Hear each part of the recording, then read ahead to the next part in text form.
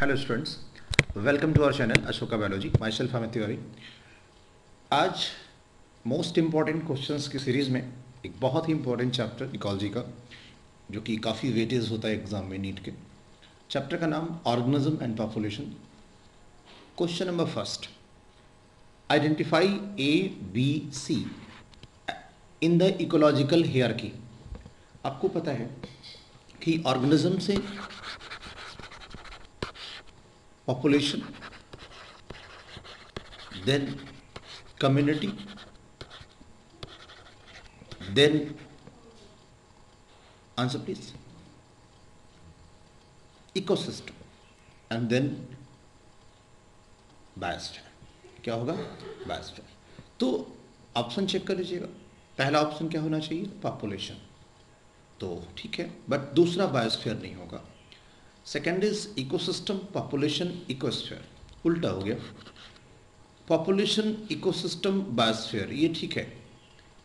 Population ecosystem biosphere it is the correct answer तो option C is the right answer the basic unit of study in the ecology is तो basic unit की अगर हम बात करेंगे ecology में तो क्या हो जाएगा आंसर पहला आपका है population second community third is ecosystem and fourth is a individual organism तो इंडिविजुअल ऑर्गेनिज्म ही सबसे बेसिक यूनिट है।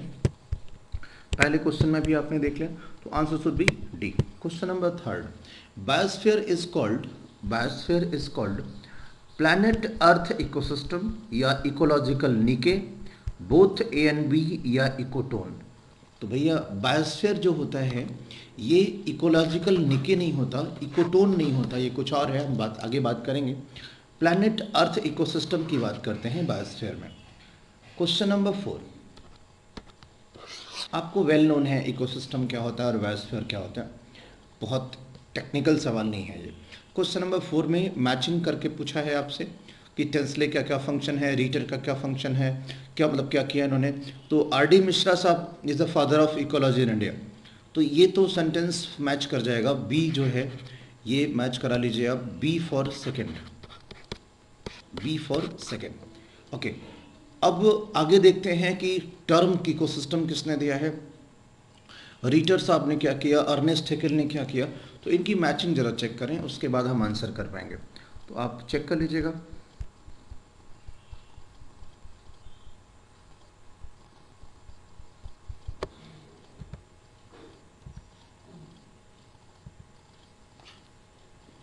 आंसर शुड बी ए का फोर मैंने बोला था। बी का सेकंड तो बी का सेकंड तो इसमें है तो ए आंसर नहीं हो सकता आपका। फ़िलहाल ए का फोर बी का सेकंड सी का वन एंड डी का थ्री आप मैच कर लीजिएगा, ये फ़ंक्शन है और ये फैक्ट है, आपको याद करना पड़ेगा। किसका क्या फ़ंक्शन है? अगला सवाल बहुत अच्छा है। ये आपको सीखना चाहिए। Question number five question number five में क्या है कि correct identify A B C with respect to climatic zone and latitude tropical zone देखिए, जब आप कभी इसको बनाते हैं तो ये मान लीजिए हमारी इक्वेटोरियल लाइनिंग है और यहाँ ज़ीरो है। तो ये जो हमारा होता है this is a tropic tropical उसके बाद हम बात करते हैं इसके ऊपर वाला सब ट्रॉपिकल देन हमारा टेम्परेट होता है। और भी है ऊपर बट फ़िलहाल इसमें तीन ही की बात कर रहे हैं तो हम टेम्परेट लिख देते हैं। ट्रॉपिकल जो होता है, ये ज़ीरो से बीस तक होता है। ज़ीरो से बीस तक। उसके बाद सब ट्रॉपिकल जो होता है, वो चालीस तक होता है। और उसके बाद जो हमारा टेम्परेट है, वो चालीस से साठ होता है। तो अब एक ट्रॉपिकल में कितना हो जाएगा? ज़ीरो से बीस। सब ट्रॉपिकल कौन सा होगा? बीस से चालीस, सब ट्रॉपिकल अपने पास रखा होगा टेम्परेट कितना हो जाएगा? चालीस से साठ। और आर्कटिक साठ से अस्सी। ये लास्ट वाला जो हमारा होता है ना, साठ से अस्सी। तो इस तरीके की बात हम करते हैं। बेहद इंपॉर्टेंट सवाल है। आंसर क्या हो जाएगा? डी अच्छा सवाल है। याद रखें, मैं कई बार बोल चुका हूँ एक ही बात में ecological niche of an organism represent देखिए इकोलॉजिकल निके किसी भी ऑर्गेनिज्म का क्या रिप्रेजेंट करता है? ये वो जगह है जहाँ पे वो अपना काम करता है। मतलब जहाँ पे उसका प्रोफेशन जहाँ पे जो उसका प्रोफेशन है, वो इकोलॉजिकल निके होता है किसी भी ऑर्गेनिज्म का। या यूँ हम कह सकते हैं कि क्या होता है यहाँ पे? तो वो अपने मैक्सिमम चीज़ों का इस्तेमाल करता है। याद रखिएगा। तो इकोलॉजिकल निके क्या है? यहाँ पे हम range of conditions it can tolerate the resources it utilises बिल्कुल अपने सारे रिसोर्सेज का इस्तेमाल करके वो फ़ंक्शन करता है। तो काफ़ी अच्छा सवाल ये आपका मान सकते हैं। तो देखिए, दिक्कत क्या हो रही है कि यहाँ पे हम एक आंसर नहीं कर सकते, क्योंकि सारे आंसर काफ़ी हद तक पास पास हैं range of condition the can tolerate functional role भी है, अपना फंक्शनल रोल कब करेगा? जब अपने रिसोर्सेज का इस्तेमाल करेगा। तो आंसर हो जाएगा यहाँ पे डी क्योंकि फंक्शनल जो ज़्यादा लोग करना चाहते हैं आंसर लेकिन फ़ंक्शन कब कर पाएगा? जब अपने रिसोर्सेज का इस्तेमाल करेगा। जब उस कंडीशन में टॉलरेट कर पाएगा तो अपने प्रोफेशन को परफॉर्म कर पाएगा। आंसर शुड बी डी बेहद इंपॉर्टेंट क्वेश्चन और ये नया जुड़ा है एनसीईआरटी में तो ये बार बार पूछा जा सकता है। आइडेंटिफाई द बायोम इसको पहचानिए कि कौन सा बायोम है ये। देखिए, अगर आप इसको डायग्राम में आपने पढ़ा होगा तो आप इसे इजीली रिकग्नाइज कर सकते हैं। ये हमारा क्या हो जाएगा? डिज़र्ट देन अब देखिए सेवन जो है, इसमें हम नोट कर लेते हैं, फिर हम आंसर करेंगे। ए क्या है? बी क्या है? सी क्या है? डी क्या है? ये हमसे पूछ रहा है। तो आइए मैच करते हैं।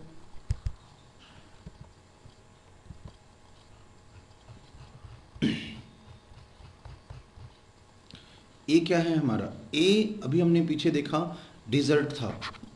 ये ए डिजर्ट हो जाएगा। आप चेक कर लीजिए। बी ग्रास लैंड होगा। ए डिजर्ट बोला ना मैंने।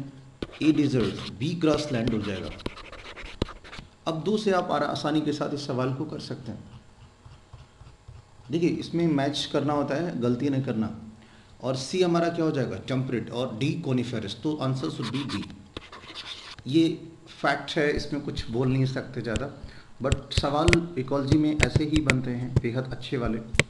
और आसानी से आप कर लेते हैं। चलिए next question the tree biomes are sorry tree biomes नहीं ट्री लेस बायोम्स सवाल को थोड़ा सा सावधानी से पढ़ना है। The treeless biomes are अब देखिए ट्री लेस बायोम जो बेसिकली होते हैं, वो टुंड्रा में टुंड्रा में चूँकि जो प्रेसिपिटेशन है, वो बहुत कम होता है। इसलिए ट्री बिल्कुल नहीं मिलते यहाँ पे। और डिज़र्ट में भी नहीं होता है, याद रखिएगा। डिज़र्ट में, भी इसमें भी आपको नहीं मिलता। लेकिन ग्रॉसलैंड में भी नहीं मिलता। डिजर्ट में पेड़ दिख जाते हैं, आपने फ़िल्मों वगैरह में देखा होगा। लेकिन तो आपने खुद देखा होगा। ग्रासलैंड में बहुत रेयरली ट्रीज दिखते हैं। इसलिए हम आंसर डी करेंगे। कोई कंफ्यूजन ना पालें। ये आपको याद करना है सब।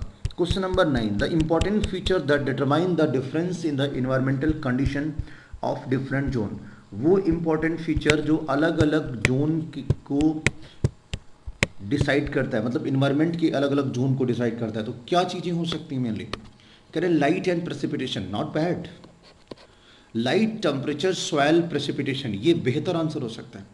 Precipitation temperature soil temperature D B answer हो जाएगा। क्योंकि इसमें काफ़ी चीज़ें आ रही है। एक कोई पूछे तो टेम्परेचर कर देना। Question number nine global warming is the increase of the earth average age temperature due to effect of greenhouse its impact देखिए, ये सवाल यहाँ तो दिया हुआ है, क्योंकि इकोलॉजी की बात कर रहे हैं तो कहीं ना कहीं सवाल ये भी आ सकता है। लेकिन ये क्वेश्चन एक्चुअल में इन्वायरमेंटल इशूज़ का है। बहुत अच्छा सवाल है।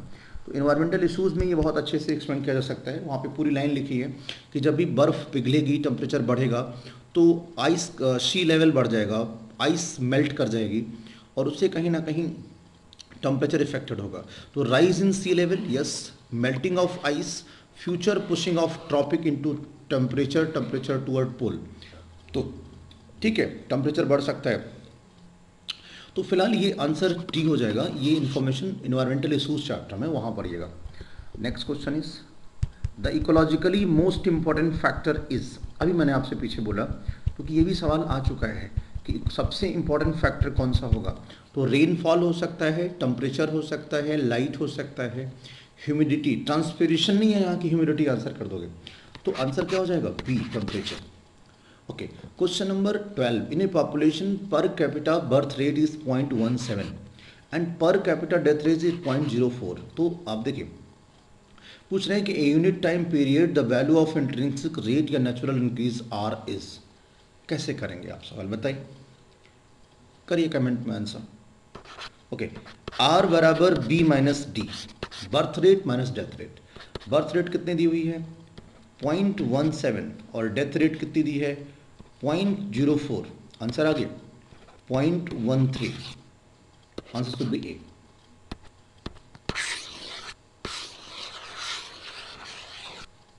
चलिए question number thirteen find out the wrong match wrong match find out करना है।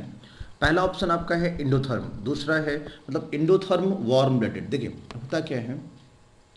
कि जो इंडोथर्म हैं, वो वार्म ब्लडेड भी होते हैं और उन्हीं को हम होम्योथर्म भी कहते हैं। तीनों शब्द एक एक दूसरे के पर्यायवाची कर सकते हैं आप।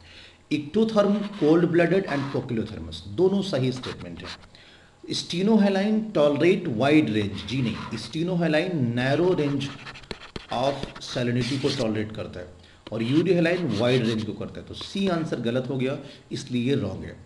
क्वेश्चन नंबर फोर्टीन ये फैक्ट है, आपको पता होना चाहिए। यूरी थर्मल अब यूरी थर्मल में हम लोग आएँगे। ऐसा क्यों होता है? यूरी थर्मल में हम लोग क्यों आएँगे? क्योंकि मतलब ओके, चलिए आप बताइए, हम देखते हैं आंसर। स्टीनोथर्मल है यूरी थर्मल है यूरी हेलाइन है स्टीनोल पहली बात स्टीनो हेलाइन क्या होता है? जो नैरो रेंज को टॉलरेट करेगा। और यूरी हेलाइन क्या होता है? जो नैरो मतलब सॉरी ये स्टीनो हेलाइन तो जो एस वर्ड है वो नैरो होगा और जो ई e वर्ड है ये वाइड होगा, दोनों। अब देखिए, अगर आप चेक करेंगे तो ए जो है हमारा ए स्टीनोथर्मल रेप्टाइल इसमें आ सकता है यस आ सकता है। क्योंकि इसमें बहुत ज़्यादा टॉलरेशन कैपेसिटी नहीं की बात कर सकते आप। कोल्ड ब्लड होते हैं वो। तो ए थर्ड हो गया। अब ए थर्ड सी में नहीं है। यूरी थर्मल अब यूरी थर्मल में हम लोग आ सकते हैं, क्योंकि टेम्परेचर को टॉलरेट कर लेते हैं। तो बी का फोर बी का फोर किसमें अब ये भी कट गया। अब बचे दो आंसर हमारे पास।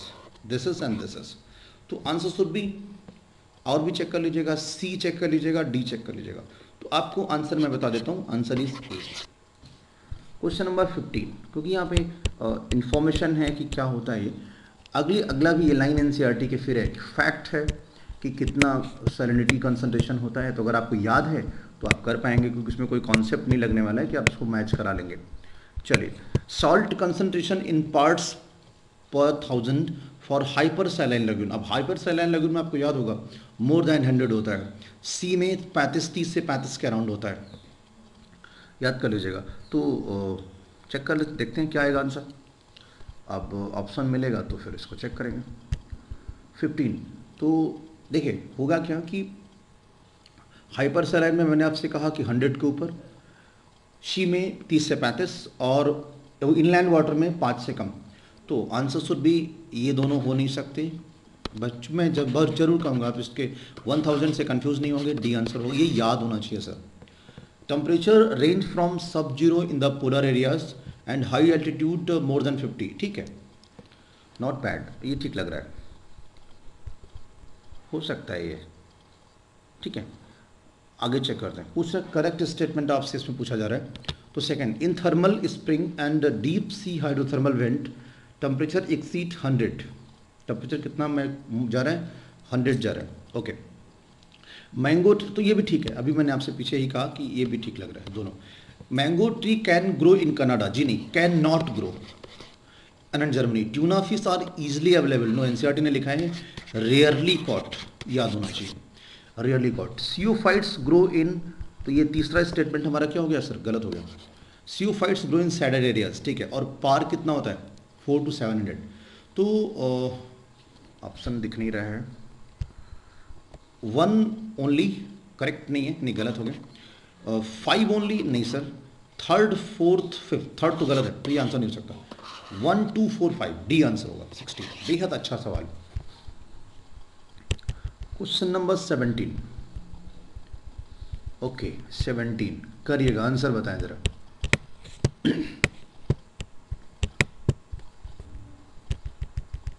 The population at time T one can be calculated as ये आपको डायरेक्ट याद होगा कि जब भी हम बात करते हैं तो ये जो प्लस आया है एक्स जब भी पॉपुलेशन काउंट करते हैं तो एन टी प्लस अब हम बर्थ जोड़ते हैं और इमिग्रेशन जोड़ते हैं। माइनस डेथ प्लस इमिग्रेशन अब ये हो सकता ये अगल बदल भी सकता है। तो X is immigration X immigration एक बार हो सकता है बट जो जेड है, ये ये वाला, ये मॉर्टेलिटी हो सकता है। हम रख सकते हैं जब ना मिले तो। X is immigration and Z is natality जी नहीं। वाई इज़ इमिग्रेशन अब वाई कहाँ, ये वाला, ये इमिग्रेशन हो सकता है बट डब्ल्यू इज़ नेटेलिटी ये नेटेलिटी नहीं हो सकती, ये डेथ है मॉर्टेलिटी होगी। ये भी नहीं हो सकता। Y is immigration and W is mortality ये भी संभव नहीं है, क्योंकि W mortality and Y is immigration Y में इमिग्रेशन है वो तो आंसर क्या हो जाएगा? इस हिट एंड ट्रायल पे करेंगे आंसर हम आंसर इज़ ए आप एग्जैक्ट बकड़ के ना बैठ जाइएगा इधर वाला ये होता है तो उससे नहीं लगेगा। Question number eighteen eutrophic lakes are rich in okay पहले हम इसको मिटा देते हैं, जिससे कि आपको साफ़ दिख जाए। क्वेश्चन नंबर 18 यू इनकरेक्ट आपसे पूछ रहा है तो eutrophic lakes are rich in nutrient and has high biological productivity not bad animal do not respond to photoperiod but plant do so देखिए एनिमल और प्लांट दोनों फ़ोटो पीरियड को respond करते हैं। तो ये आंसर हमारा गलत हो गया। Oligotrophic lakes are poor in nutrient and clear and low biological अब न्यूट्रिएंट कम है तो बायोलॉजिकल डाइवर्सिटी प्रोडक्टिविटी अपने आप कम होगी तो पढ़ने की ज़रूरत नहीं है, आगे बी आंसर हो जाएगा। क्वेश्चन नंबर 19 अब देखिए, वही सवाल जो अभी हमने पीछे किया, उसी को का दूसरा प्रारूप है ये। A B C D identify करना है। अब मैंने आपको फिर पीछे कहा था कि इसमें कसम खा के मत बैठ जाइएगा कि जो एन e में जैसे बना है, हम वैसे ही करेंगे। तब तो आपका आंसर ही नहीं लगेगा ये। क्योंकि वो ऑप्शन में देगा नहीं तो फिर दिक्कत हो जाएगी। फिर भी ये जो प्लस है, ये प्लस में क्या बर्थ की बात आप, या तो ये बर्थ हो सकता है। This is birth and this is immigration reverse भी हो सकता है कुछ भी। ये आप मॉर्टेलिटी कह सकते हैं और ये आप इमिग्रेशन कर सकते हैं। मैं फिर कह रहा हूँ, ये चेंज हो सकता है। ए इमिग्रेशन हो सकता है।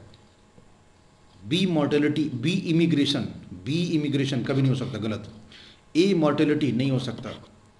ए इमिग्रेशन नहीं हो सकता। अब आंसर बता दीजिए। अब तो जो मैंने सब ये बोल दिया नहीं हो सकता तो answer should be D A immigration B natality C mortality and D immigration तो question number twenty in which are the following zones of a deep lake light do not reach देखिए, इस टर्म को NCERT ने बताया है तो आपको ये बात पता होनी चाहिए कि ये जोन्स क्या होते हैं। हम ये सेपरेट जोन्स का अलग से एक वीडियो आपको देंगे कि कौन से जोन में लाइट जाती है किसमें होता है। क्योंकि एन ने बहुत थोड़ी सी बात करी है तो अभी तो हम आपको बता देते हैं कि डीप लेक में लाइट कहाँ नहीं पहुँचती। तो लाइट जो है, वो लिटोरल सबसे बाहर का जोन लिटोरल दोनों साइड का तो यहाँ पे तो लाइट पहुँचती है। उसके जस्ट मतलब सेंटर वाला लेमनाटिक जैसे अगर ये बात करें तो ये वाला लेमनाटिक और ये दोनों लिटोरल इस तरफ़ इस तरफ़ वाला। इसके नीचे प्रोफंडल और सबसे नीचे बेंथिक तो बेंथिक और प्रोफंडल यहाँ लाइट नहीं पहुँचती, यहाँ दोनों में तो पहुँचती है। मतलब अगला ऑप्शन देखते हैं। प्रोफंडल एंड बेंथिक तो आंसर शुड भी ट्वेंटी का आंसर क्या हो जाएगा? सी बेहद अच्छा सवाल। Humus is question number twenty dark coloured amorphous substance slightly acidic colloidal substance act as reservoir of nutrient and related with all of the above देखिए dark होता है, हमने पढ़ा है। स्लाइटली एसिडिक होता है और कोलाइडल सब्सटेंसेज जिसमें न्यूट्रिएंट्स होते हैं। तो फैक्ट है D answer which are the following soil is best for plant growth कौन सी सॉइल बेस्ट है प्लांट ग्रोथ के लिए? सॉइल में आपको पीडोलॉजी एटल्फोलॉजी ये सब पता होना चाहिए पीडोजेनेसिस ये सब ज़रूर याद रखिएगा कि क्या होता है। Sandy soil clay soil both and B and loam soil तो here is the answer loam soil loam soil काफ़ी अच्छी दोमट मिट्टी, हिंदी में बोलते हैं। Question number twenty three which are the following has negative effect on the population growth easy सवाल है। मतलब पॉपुलेशन में नेगेटिव ग्रोथ मतलब नेगेटिव इफ़ेक्ट क्या काज करेगा? अब नेगेटिव इफ़ेक्ट वो करेगा जो घटा रहा हो पॉपुलेशन को। तो कौन घटा रहा है? इमिग्रेशन बढ़ा रहा है, ये घटा रहा है। इमिग्रेशन और मॉर्टलिटी ये ज़्यादा घटा रहा है। और ये सिर्फ़ बढ़ा रहा है। तो आंसर शुड बी सी आप कहेंगे, सर बी क्यों नहीं?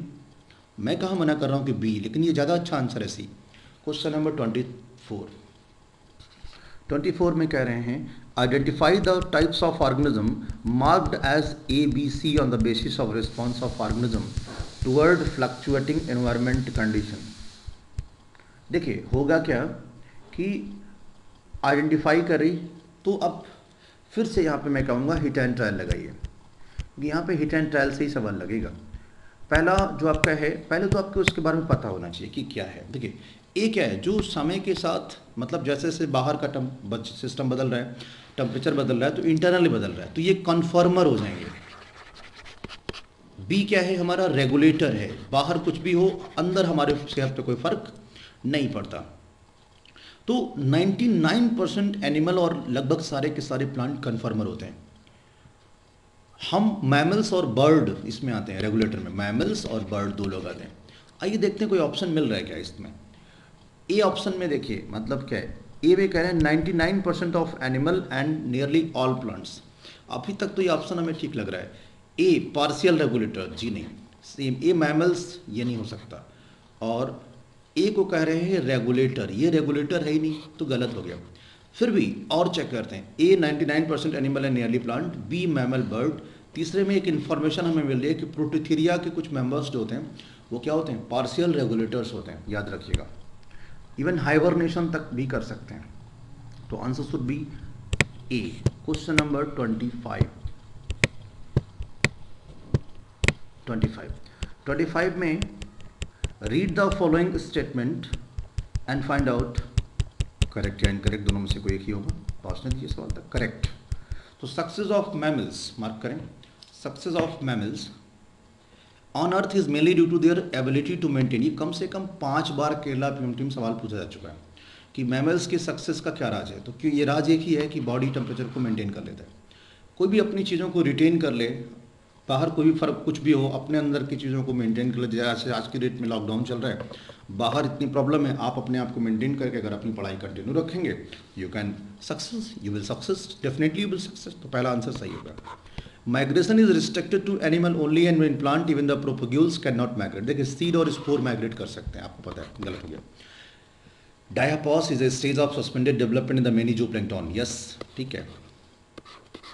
Most of the animal can maintain the internal homeostasis जी नहीं. मोस्ट ऑफ़ द मेंटेन नहीं कर सकते. कुछ करते हैं. In कर्मर conformers the body temperature changes with the ambient temperature body temperature क्या हो जाएगा?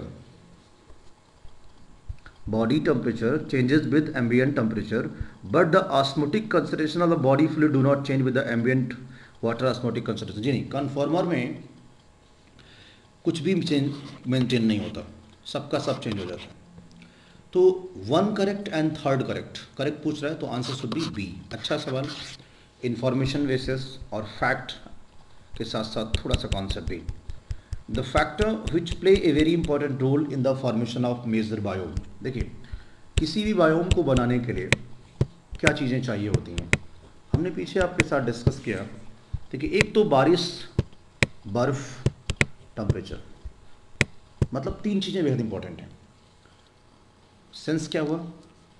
टेम्परेचर एंड विंड विंड नहीं मैटर कर रहा है। प्रेसिपिटेशन एंड टेम्परेचर आपने पढ़ा हुआ पीछे कि टेम्परेचर और प्रेसिपिटेशन दो ही चीज़ें काउंट हो रही थी। उसी ग्राफ से बार बार सवाल बना रहे question number twenty seven adaptation in organism can be अब देखिए अगले टॉपिक में हम एनसीआरटी के अकॉर्डिंग बढ़ रहे हैं। Adaptation in organism can be adaptation कई प्रकार का हो सकता है। वो मॉर्फोलॉजिकल भी हो सकता है। वो बिहेवियरल भी हो सकता है और वो फिजियोलॉजिकल भी हो सकता है। ठीक है? तो आंसर शुड बी टी आइए question number twenty eight how does a kangaroo rat cope with North American desert kangaroo क्या है? मेटाथेरिया ये अमेरिकन नॉर्थ अमेरिकन डिजर्ट में कैसे रह लेता है? तो water requirement is met by internal oxidation of stored fat stored fat से अपनी वाटर की ज़रूरत को पूरी करता है। It can concentrates its urine अपने यूरिन की कंसनट्रेशन को बढ़ा देता है, जिससे कि वाटर का मिनिमम लॉस होता है। और minimum water is use to remove excretory product in very concentrate तो हर सूरत में वो पानी का कम इस्तेमाल कर रहे हैं। जब भी इसको समस्याएँ आती हैं तो फ़िलहाल इसीलिए ये डिजर्ट में रह लेता है। तो आंसर डी ये एक प्रकार का एडोप्टेशन है फिजियोलॉजिकल एडोप्टेशन अभी हमने पीछे बात करी थी तो एक दूसरा एग्ज़ाम्पल मिल गया। Question number twenty nine read the following statement पूरे स्टेटमेंट को पढ़िएगा। उसके बाद इसमें हमें करेक्ट छांटना है। देखिए inter specific competition is more severe than inter specific देखिए इंटर स्पेसिफिक कंपटीशन सीवियर नहीं होता, क्योंकि दो स्पीसीज के बीच में इंट्रास्पेसिक ज़्यादा सीवियर होता है, इसलिए ये गलत हो गया। आपस में कंपटीशन ज़्यादा मुश्किल है। इंटरस्पेसिक में, अब हमारे में और शेयर में कंपटीशन नहीं होने जा रहा है। ये बात याद रखिएगा तो गलत हो गया। Resources may not be limiting for the competition to occurs in the case of interference competition interference तो किसी को देख के भी हो सकता है। मतलब किसी की वजह से तो कोई इंटरफेयर कर रहा है किसी की चीज़ों में तो वहाँ रिसोर्सेस इंपॉर्टेंट नहीं है। यही वो कंपटीशन है जहाँ रिसोर्सेस इंपॉर्टेंट नहीं करते मैटर नहीं करते। तो ये हमेशा ज़रूरी नहीं है कि कंपटीशन रिसोर्सेज सेम हो तभी होगा। रिसोर्सेज ना सेम हो तभी हो सकता है। And the such kind of competition is known as interference competition NCERT mention है ecologically herbivore are predator yes हो सकते हैं। Predator maintain species diversity yes बिल्कुल। क्यों? क्योंकि वो इंटर इंट्रा स्पेसिफिक कंपटीशन नहीं होने देगा, इसलिए वो मेंटेन कर लेगा। हाइपर पैरासाइट और parasite over other parasite yes hyper parasite क्या होता है? पैरासाइट के ऊपर पैरासाइट हाइपर पैरासाइट तो one two three four one गलत है तो कैसे हो सकता है? ये भी नहीं हो सकता। Second third fourth fifth answer so B B question number thirty which of the following is xerophytic adaptation कौन सा जीरोफिटिक अडोप्टेशन है? अब जीरोफिटिक क्या होता है? जहाँ पे पानी की स्कैरसिटी हो। अब पानी की अगर स्कैरसिटी होगी तो पानी का लॉस बहुत कम करेंगे। इससे हम अपने पानी को बचाएँगे। तो अब्सेंस ऑफ़ कैम कोई मतलब नहीं है इसका। प्रेजेंस ऑफ़ थिन क्यूटिकल देखिए थिन क्यूटिकल नहीं होना चाहिए। होना क्या चाहिए? अगर थिक क्यूटिकल होती तो हमारा आंसर हो जाता है सनकिन स्टोमेटा प्रेजेंट स्टोमेटा काफ़ी धंस जाता है अंदर तक। तो उससे ट्रांसपरेशन लॉस बहुत कम होता है। तो answer C which of the question number thirty one which of the following happens as result of altitude sickness देखिए, जब हम पहाड़ों पे जाते हैं तो हमारे बॉडी में नाजिया फटीग जी घबराना हार्ट में पल्पटेशन की बात कर सकते हैं। ब्रीदिंग रेट हमारी बढ़ जाती है आरबीसी का प्रोडक्शन बढ़ जाता है उन सारी चीज़ों को कंपनसेट करने के लिए। ये एक प्रकार की एल्टीट्यूड सिकनेस एक प्रकार की बीमारी है, जब पहाड़ों पे जाते हैं लोग। तो वो थोड़े टाइम के लिए होता है, फिर बाद में कंपनसेट हो जाता है। बाइंडिंग एफिनिटी हीमोग्लोबिन की घट जा घट जाती है, याद रखिएगा, ये बहुत इंपॉर्टेंट पॉइंट है। तो आरबीसी प्रोडक्शन बढ़ जाएगा ब्रीदिंग रेट बढ़ जाएगा नाजिया फटीक नाजिया मतलब जी मसलाना और याद रखिएगा नाजिया प्रोसीड्स और वॉमिटिंग ये डाइजेस्टिव सिस्टम का सवाल है। तो question number thirty two which the following is correct कौन सा इसमें से सही है? ढेर सारे ऑप्शन नहीं चाह रही है, कोई बात नहीं। तो पहला ऑप्शन क्या है? Antarctic fishes can survive below zero degree centigrade because they have anti freeze solute हाँ ये पूछा भी है सवाल एन ने। तो याद रखिएगा, ये सही है एंटार्टिक फिशेस ज़ीरो डिग्री के नीचे रह लेती हैं। क्यों रह लेते हैं? क्योंकि इनमें ये सारा जो एग्ज़ाम्पल है, वो अडाप्टेशन का है। क्योंकि इनमें एंटी फ्रीज सोलोट्स पाए जाते हैं, जो बॉडी कोई सब्सटेंस को फ्रीज नहीं होने देते। Archaebacteria can flourish in a hot spring deep sea hydrothermal vent well temperature is above याद रखिएगा आर्की बैक्टीरिया रह लेता है 100 से ऊपर टेम्परेचर में भी। क्यों?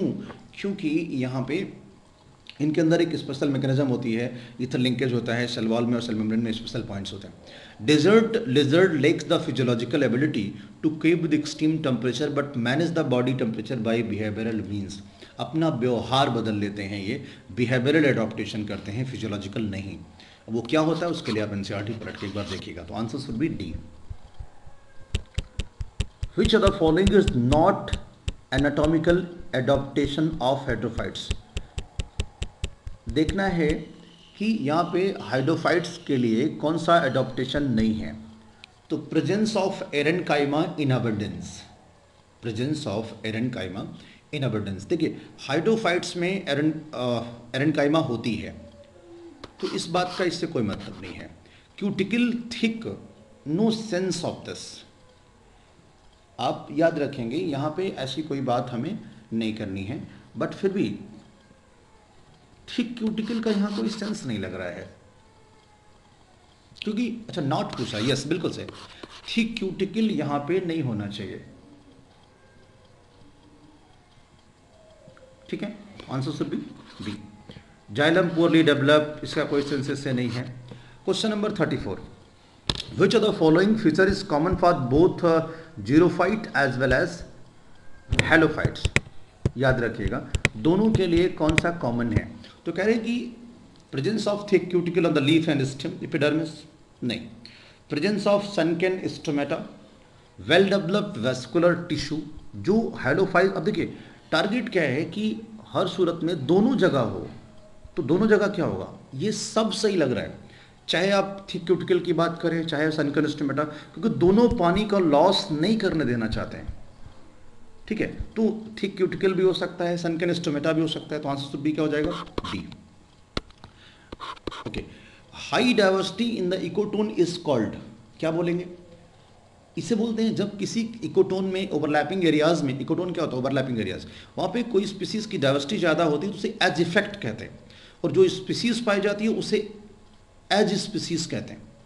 तो आंसर शुड बी अब मिल गया होगा A answer question number thirty six mutualism and protocooperation can be represented as. अब देखिए, म्यूचुअलिज्म और प्रोटो कॉपरेशन में दोनों को फ़ायदा होता है। तो plus plus can be where predation and parasitism can be represented as. तो क्या होगा? Plus and minus. तो क्वेश्चन नंबर थर्टी सिक्स का आंसर क्या हो जाएगा? Answer should be B. Plus plus plus minus. Question number thirty seven. Which are the following is the case of mutualism, जिसमें दोनों को फ़ायदा हो? तो आप देखिए, दोनों को फ़ायदा किसमें हो रहा है? लाइकेन में यस एल्गी फंजाई दोनों को होता है। माइक्रोराइजा में प्लांट को भी होता है और फंजाई को भी होता है। फिग एंड वैस्प दोनों को होता है। एक को रिवार्ड मिलता है और एक को कहीं ना कहीं पॉलिनेट हो जाता है। तो answer should be D mutualism में दोनों को फ़ायदा होता है। यानी म्यूचुअलिज्म क्या होता है, ये भी पढ़ लिया। और म्यूचुअलिज्म के एग्ज़ाम्पल भी हो गए। अगला। The interaction between sea anemone and hermit crab अब आप देखिए सी एनिमोन और हर्मिट क्रैप का एग्ज़ाम्पल आपको पता होना चाहिए। तो क्या होगा इसका आंसर बताइए जरा। Sea anemone and hermit crab का एग्ज़ाम्पल देखिए, यहाँ पे एनसीआरटी ने तो नहीं लिखा है but itself it is type of protocooperation याद रखिए। नहीं लिखा एनसीआरटी ने बट फिर भी याद रखें। Question number thirty nine the interaction between clown fish and sea anemone is the type of अब इससे ज़्यादा कन्फ्यूज़न मैं और आप को नहीं दे सकता। एक बार आपसे कह रहा हूँ कि ये क्या है? दोबारा एक दूसरा सवाल पूछ लिया। तो सी एनिमोन हर्मिट क्रैब लिखा होगा तो प्रोटोक ऑपरेशन कर देना। और अगर क्लोन फ़िश और सी एनिमोन लिखा होगा तो कॉमन सलिज्म कर देना। फिर से सुन लीजिए। Anemone crab protocooperation sea anemone clown fish commensalism question number forty keystone predator can maintain species diversity in the community if कब करेगा? फिर से सुनिएगा। Keystone keystone. आपने तो आंसर कर दिया होगा अब तक। बहुत तेज करते हैं भाई। कैसे हो सकता है, बताइए। चलिए, मैं डायरेक्ट आंसर पढ़ देता हूँ। प्रे ऑन कम्युनिटी डोमिनेंट अगर ये प्रोडेटर पे डोमिनेंट है तो ये कंट्रोल कर लेगा। तो keystone predator can maintain species diversity in community if they if they क्या? Prey on communities dominant species अगर ये डोमिनेंट होगा तो कर लेगा। चलिए। Birth rate in the population is represented by अब बर्थ रेट कैसे होती है? देखिए, चाहे बर्थ रेट हो, चाहे डेथ रेट हो, आपको ये तो डायरेक्ट याद होता है कि delta N upon N into delta T यही क्या है? बोले ना, यही हमारा क्या होगा? बर्थ रेट हो जाएगा। या अगर आप डेथ रेट में भी कर सकते हैं तो वहाँ भी आप कर सकते हैं। तो फ़िलहाल एन के, डेल्टा एन क्या है? चेंज इन द पॉपुलेशन पर एक साल में। एन क्या है? इनिशियल और ये पूरा वर्ष है। तो ये टोटल चेंज आ जाता है। तो आंसर शुड बी ए अच्छा सवाल है, आ सकता है। Smaller animal tend to loss heat faster than large larger animal देखिए स्मॉलर एनिमल अपनी एनर्जी को ज़्यादा, अपनी हीट को ज़्यादा तरीके, जल्दी लॉस कर देते हैं, क्योंकि उनका सरफेस एरिया वॉल्यूम रेशियो क्या होता है? ज़्यादा होता है, याद रखिएगा। Higher surface area volume ratio so that's why वो बहुत जल्दी अपने हीट को लॉस कर देते हैं। क्वेश्चन नंबर फोर्टी थ्री पूछा जा रहा है, सवाल अच्छा सवाल है ये, कि which are the following is not possessed by an individual organism but by a population okay तो birth rate and death rate ये पॉपुलेशन की प्रॉपर्टी है और बर्थ और डेथ इंडिविजुअल की प्रॉपर्टी है। सेक्स रेशियो पॉपुलेशन की प्रॉपर्टी है बट कि सेक्स मेल या फीमेल इंडिविजुअल की प्रॉपर्टी है। तो बर्थ डेथ ये पॉपुलेशन की नहीं इंडिविजुअल की है। तो आंसर क्या हो जाएगा? C question number forty four study the age pyramid shown below and choose the correct option तो भैया, इसकी स्टडी कर लीजिएगा और उसके बाद इसका आंसर करिएगा। तो पहला ऑप्शन अब देखिए, ये जो हमारा है, ये एक्चुअल में क्या है? ये एक्सपेंडिंग है। ओके ये हमारा क्या है? और एक्सपेंडिंग है और ट्रायंगुलर है। ठीक है ना? ये ट्रायंगुलर है। ये हमारा क्या हो जाएगा? वेल सेप है। ये हमारा कैसा है? अर्न सेप है। अर्न सेप दिख रहा है। तो अर्न सेप इसमें दिया हुआ तो गलत हो गया। वेल सेप इसमें दिया रहा है तो गलत हो गया। अर्न सेप इसका हो सकता है, लेकिन इसको ट्रायंगुलर का है तो गलत हो गया। तो answer should be C expanding bell shape and pyramid showing negative growth इसमें देखिएगा, यहाँ नेगेटिव ग्रोथ हो रही है। यहाँ कांस्टेंट है और यहाँ पॉजिटिव ग्रोथ है। पूरे को मार्क कर लीजिएगा। इसी से हमारा अगला सवाल भी लगेगा। कौन सा है? पूछ रहे हैं कि फाइंड आउट इनकरेक्ट मैच तो पूछ रहे हैं ट्रायंगुलर जो है वो यंग होता है। यस होता है। ट्रायंगुलर वाला यंग होता है। वेल से पिरामिड जो है वो स्टेबल होता है। Bell shape yes urn shape positive जी नहीं, अर्न सेप जो है, वो नेगेटिव होता है। तो 45 का आंसर क्या हो गया? B question number 46 in which of the following age pyramid the proportion of pre reproductive individual is very high in comparison to reproductive अब देखिए, ऐसा कहाँ होगा? ऐसा सिर्फ़ आपको मिलेगा। 46 में आंसर क्या हो जाएगा? बी ट्रायंगुलर में मिलेगा। अभी हमने आपसे कहा ना ट्रायंगुलर में मिलेगा। तो ये जो ट्रायंगुलर है, उसमें पोस्ट प्रोडक्टिव कम होते हैं प्रोडक्टिव ज़्यादा होते हैं। तो इसलिए ये ज़रूर याद रखें, पूरा सेफ़ मैं, मैंने तीन सवाल जो आपको करा दिए हैं, यही तीन क्वेश्चन बेसिकली बेहद इंपॉर्टेंट हैं और यही पूछे जाएँगे एग्ज़ाम में। इसमें कोई और नया सवाल बनता हुआ नहीं दिखता। Question number forty seven which statement describe how climate might change if Earth was seventy five percent land and पच्चीस परसेंट वाटर चलिए जी, इसको भी देख लेते हैं। देखिए, अगर पृथ्वी पे 75 परसेंट लैंड हो जाए और 25 परसेंट वाटर हो जाए, देखिए एग्जैक्ट क्या होगा ये तो नहीं कह सकते। लेकिन अगर सब पानी के बजाय लैंड हो जाएगा तो टम्परेचर दिन में बढ़ जाएगा, क्योंकि डिज़र्ट शुरुआत में बनने की उम्मीद है। तो शुरुआत में डिज़र्ट बन सकता है टम्परेचर बढ़ जाएगा, रात में टम्परेचर कम हो सकता है। एग्जैक्ट क्या होगा? गॉड नोज़ बट फिर भी answer should be C Earth day time temperature would be higher and night time to be ये और बाकी ऑप्शन इससे रिलेवेंट नहीं है। Question number forty eight the main reason polar region are cooler than the equator अब main reason क्या है? देखिए मेन रीजन ये है कि पोलर रीजन में लाइट की अवेलेबिलिटी नहीं हो पाती। एक रीजन तो ये है। तो कह रहे main reason polar region are cooler अब लाइट की अवेलेबिलिटी नहीं हो पाती तो इसका क्या मतलब है? इसका मतलब है कि जो आइस है, वो जल्दी पिघलते नहीं हैं। तो आइस रह जाते हैं। इसलिए हमारा जो पोलर एरियाज़ हैं, वो काफ़ी ठंडा होता है।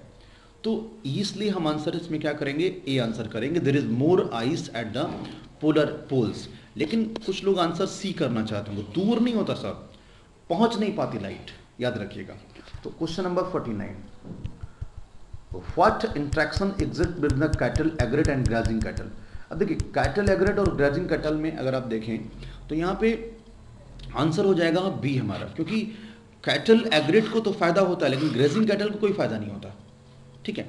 तो बी आंसर होगा, आपने पढ़ा होगा। अगला सवाल। Question number fifty the principles of competitive exclusion states that क्या स्टेट करते हैं? Two species that have been exactly the same niche can not coexist in the community यही तो सच है। देखिए एक कम्पिटिटिव एक्सक्लूजन में यही कहा गया है कि दो स्पीसीज अगर सेम निके में रह रहे हैं, वो एक साथ नहीं रह सकती। यही है कम्पिटिटिव एक्सक्लूजन याद कर लीजिए इसको। और इसमें कोई समझने वाली बात नहीं है। बाकी डिटेल में आप इंसाइड एक बार पढ़िए। और हम लोग जब रिविजन अभी क्रैश कोर्स वाला जब लेक्चर डालेंगे तो उसमें काफ़ी हद तक एक्सप्लेन करेंगे। In temperature lakes the surface water is the nutrient during the turnover that occurs in this देखिए, इसमें क्या होता है कि रिटेन करना न्यूट्रिएंट्स दोबारा कैसे मिलेगा? जब चीज़ें टूट के गिरेंगी, पत्तियाँ टूट के गिरेंगी, चीज़ें उसमें शामिल हो जाएँगी एसेमुलेट कर जाएँगी तो फिर से दोबारा रिटर्न होके आएँगी। तो ऐसा कहाँ मिलता है? ऑटोम एंड स्प्रिंग में न्यूट्रिएंट दोबारा लेक्स को मिल जाता है। तो ये बात भी आपको फैक्ट के रूप में याद रखनी है। इंपॉर्टेंट पॉइंट हो सकता है। Autumn and spring question number fifty two In a tide pool, 18 species of the invertebrate were reduced to 10 after one species were removed. एक के घटने से 18 से 10 हो गई। इसका क्या मतलब है? एक के घटने से 18 से 10 हो गई तो उसका मतलब है कि क्या वो हर्बियोर थी? पैथोजन थी? नहीं। वो कीस्टोन स्पीसीज थी। मेन स्पीसीज के गायब हो जाने से ये सीधी दिक्कत आ सकती है। क्वेश्चन नंबर 52 ये आपको समझना होगा, हर बात को समझा पाना बहुत मुश्किल है, क्योंकि टाइम बहुत कम होता है।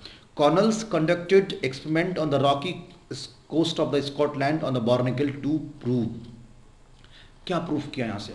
यही प्रूफ किया कि कॉम्पिटेटिव एक्सक्लूजन इसको प्रूफ करता है। डिटेल इसकी एक बार पढ़िएगा। आपको आना चाहिए। आई होप सो कि आपको आता होगा। Question number 54 while climbing a mountain we can observe transition बहुत अच्छा सवाल है ये। और एग्ज़ाम में आ भी सकता है क्या? जब भी हम माउंटेन पर चढ़ते हैं तो हम क्या ऑब्ज़र्व करते हैं? और जो कि एनालॉगस होगा किसके? तो जैसे जब हम पहाड़ों पर चढ़ते हैं तो वो किसके एनालॉगस होगा? At depth in the ocean जो पहाड़ों पे दिख रहा है, वही हमें दिखेगा। या दूसरा कह सकते हैं कि in a community in the different season in a ecosystem as it evolve over time in biome at different latitude देखिए ये यही हमें मिलेगा। जैसे जैसे हम पहाड़ों पर जाएँगे, हमें वैसे ही मिलता है, जैसे बायोम मिलता है अलग अलग में, जैसे कभी ट्रॉपिकल, कभी सब ट्रॉपिकल कभी टेम्परेट कभी टूंड्रा, इस तरीके से मिलता है। तो वैसे ही बात एकदम है। सेम, ये आप ज़रूर चेक करें। Question number fifty five a population of rabbit has an annual per capita मतलब a population of rabbit has annual per capita कितनी है? पॉइंट ज़ीरो सिक्स कितनी है? Point zero point zero six okay और death कितना है? Point zero two calculate in estimated the number of individuals added अब देखिए, ये गेस करना है आपको। इसमें से घटा देंगे तो आपको कितना आएगा? पॉइंट ज़ीरो फोर ओके और अगर वन थाउज़ेंड में कैलकुलेट करेंगे तो चालीस इंडिविजुअल ऐड हो जाएँगे। ये एक इंडिविजुअल की बात थी तो पर कैपिटा में वन थाउज़ेंड के रेफरेंस में कितना हो जाएगा? पर ईयर फोर्टी ऐड हो जाएँगे। पॉइंट फोर आया है हमारा टोटल कैलकुलेशन तो इसलिए फोर्टी हो जाएगा। इफ़ इन ए पॉन्ड ये सब आपको कैलकुलेट करना है स्पीड से।